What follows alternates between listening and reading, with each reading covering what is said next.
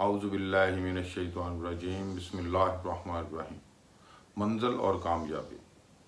मंजिल और कामयाबी तो वो है जिसमें हमें सुकून मैसर आ सके। अगर सुकून मैसर नहीं, इन मादी चीज़ों की कामयाबी तो होगी, वो हमेशा रहने वाली है। हम तो हमेशा रहने वाले नहीं हैं। तो हमारी कामयाबी और मंजिल कहाँ है? ये सब तो देने वाले की अता है। सुकून ज़ात ही।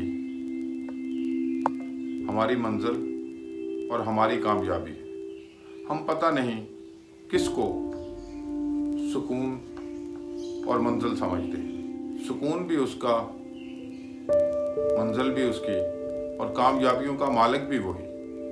उसी के रास्ते और उसी का रास्तों पर हुक्म। तो फिर हम किस कामयाबी की बात करते हैं हम तो सिर्फ़ नाचते हैं उस मंजिल की कामयाबी पर, जो असल में हमारी है ही नहीं। हमारा अगर इस दुनिया में कुछ है, इस जहान में कुछ है तो वो सिर्फ़ और सिर्फ़ वो लम्हा है जिसमें हम बेतलब हो सकें।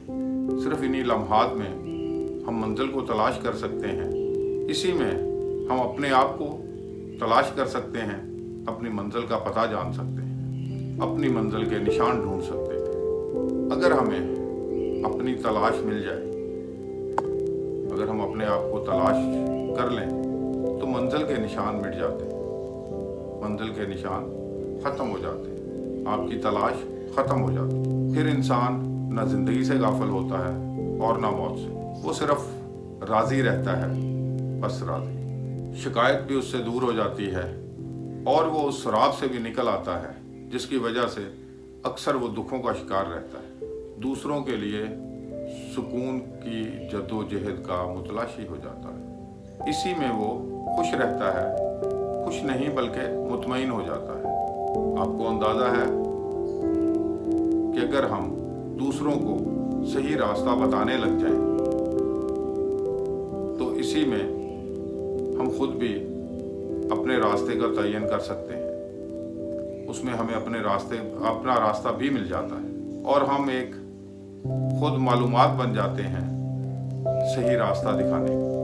और फिर लोग मंजिलों की रहनुमाई के लिए आपके गिर्द जमा रहते हैं। और इसी दौरान आप दूसरों की रहबरी करते करते खुद अपने भी रहबर बन जाते हैं। ये है वो मंजिल जिसका हमें मुतलाशी होना चाहिए। अगर ये कहीं गुम है हमें सिर्फ़ इसी को तलाश करना है। जब हम दुआ करते हैं तो हमें अल्लाह से ज़िद नहीं करनी चाहिए। ज़िद हमारा हक नहीं है। जब हम किसी ख्वाहिश की अर्ज़ करते हैं तो उसमें भी हमें ज़िद नहीं करनी चाहिए। हो सकता है ये वक्त हमारे लिए सही ना हो। ये हमारी ख्वाहिशात किसी और टाइम के लिए हमारे लिए रखी हों। जब आप राज़ी हो जाते हैं उस पर जब आप बेतलब हो जाते हैं तो इसी को फैज़ कहते हैं, और यही उसका फ़ज़ल होता है। व आखिर अनिल रब्बिल